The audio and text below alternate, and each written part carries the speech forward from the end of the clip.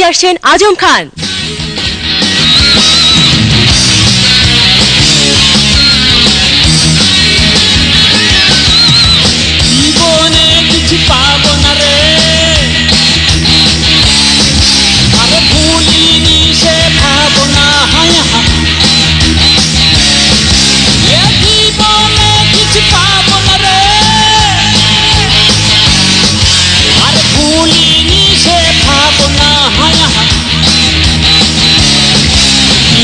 মোর কাছে বলো আমার থাকবে